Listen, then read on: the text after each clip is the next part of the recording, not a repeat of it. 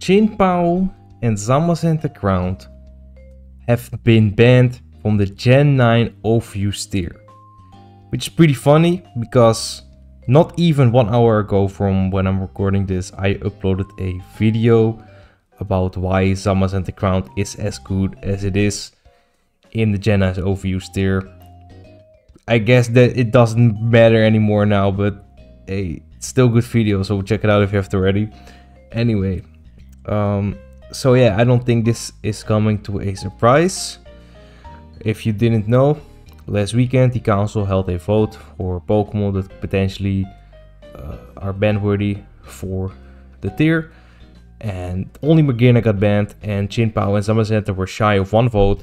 And also in that weekend or a day after, I can't remember exactly, they changed, kind of changed the voting requirements for a Pokemon.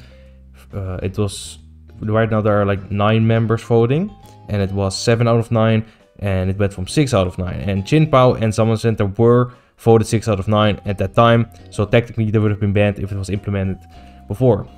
Anyway, let's go over the reasoning real quick and over the impact it might have on the metagame. So yeah, the SVOU Tiering Council has been monitoring the ongoing Tiering survey. We like to conduct regular surveys to gauge the community and upon seeing the results over the first couple days, we have determined to hold pretty much another emergency vote, so name says it all. Uh, they talk about how Regieleki was banned last week, same with Magearna last weekend, and they say we expect to wait until this coming weekend to vote again. However, between the metagame's continued response to these bans and the player base sweeping sentiments expressed across the survey, it caused a sample of 2,000 total participants, thank you, and well over 100 qualified participants. So yeah, Chien-Pao currently had the highest mark of any Pokemon in history of our surveys, but Zamazenta-Crowned only trailed by a small amount, leaving both firmly entrenched in territory we normally view as the quick ban vote zone. the Hero was a distant third and fell slightly outside of this threshold, but will still be voting again this weekend on the Hero and other radar worthy presences. This in mind, we voted in the following fashion on both Chien-Pao and Zamazenta Crowned, but yeah, um, Chien-Pao has been able to make use of its great two steps Alongside Sacred Sword, it hits the vast majority of the metagame. Don't think this is any news to anybody. And uh, yeah, especially after the beginning of Magearna, it, it would have been even worse if they banned Zamazenta-Crowned without Chien-Pao. But yeah, it's now also been banned. And Chien-Pao's effectively been able to handpick its own counters throughout the entire metagame due to steps and coverage. And this is amplified by the possibility of attack boosting items and offense to offensive restoration, such as Choice, there Choice Tera Dark with Crunch my in my opinion, pretty much the only thing you needed to do was choice band, Tera, Dark, just crunch everything. Even if it's resist, it's still gonna take a lot of damage. There's not there's not a, a whole lot of skill with this Pokemon. Yeah, and it's, it's too fast, it's too strong, and its coverage is too good. It, it, there's nothing else to say. Even I think even without Sacred Sword, this Pokemon would still be considered uh, a problem. Uh, they also talk about how well it was not able, quite able to beat some Zamazenta forms, and it was weak to stealth or Chien-Pao's offensive arsenal, allowed for to have hardly any counterplay, and with it qualify was not remarkably consistent either.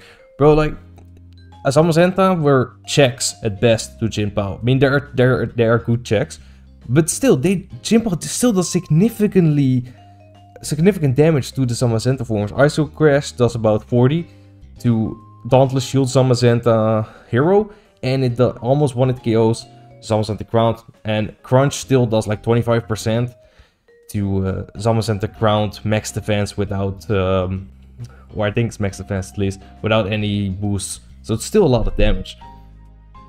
yeah, that's pretty much everything on Chien-Pao. Zamazenta Crowned.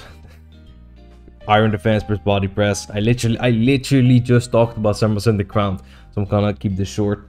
But um, yeah, few adversaries are worthy of trying to outmaneuver the king himself, which made it very problematic. Yeah, I literally mentioned in the video that there's not a lot of counterplay to this Pokemon. Truth be told, Zamazenta Crowned was undoubtedly polarizing as it hit unreasonably hard for a Pokemon with bolstered defenses. Literally said that too, thanks to the newly found body press. While it can only ran, set and followed this predictable pattern, that was all we needed to break the tier wide open, making team building a massive challenge due to its burden. Yeah, the, this Pokemon, you know what it's gonna do, and still you, you cannot deal with it consistently. That says that says a lot. You know what it's gonna do. There's no, oh maybe it's this set, maybe it's that set. No, you know, you already know what it's gonna do. And the thing is, uh, in team preview, you cannot see which Zamazenta form you're facing. It's always gonna be hero form. So unless the opponent sends it out, you don't know whether it's hero form or crowned at that time, which is also I think a big deal because crowned has less counters than hero. So yeah. Uh, blah, blah, blah. All things considered, Zamazenta-Crowned to fit an interesting niche to perfection and it does so while greatly limiting the metagame. yeah. We were excited to dabble with, with but body press was clearly too much. Yeah, I, my personal opinion, I did not think that Iron Defense body press was gonna be as good as it is. I mean, I knew it's gonna probably be good, but not as good as it has been in this metagame. You know, um, Zamazenta-Crowned, it was a nice addition to Stall, but now Stall's gonna have to go back to being shit, I guess. So, um, yeah, I don't really have a lot to say about these bans. I do think that, that Zamazenta Hero might be easier to deal with, but still gonna be a problematic Pokemon. Uh, aside from that, don't really have a lot to add. Already talked about Zamazenta-Crowned a lot. Chien-Pao is already a familiar face that has been banned before. So yeah, let me know what you think about these bans.